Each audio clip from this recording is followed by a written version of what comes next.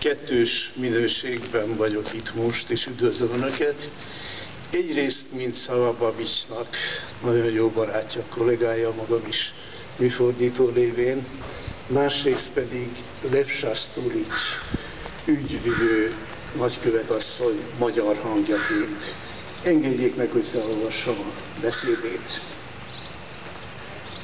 Tisztelt alpolgármester asszony, tisztelt Hanvas Béla asztaltársasági tagok, nagyra becsült Fenyvesi úr, kedves jelenlévők! Nagy öröm és megtiszteltetés számomra, hogy meghívtak ide Balatonfüredre, az emlékparkba, erre a rendkívül jelentős rendezvényre, amelyet a nagyíró Hanvas Béla tiszteletére tartanak.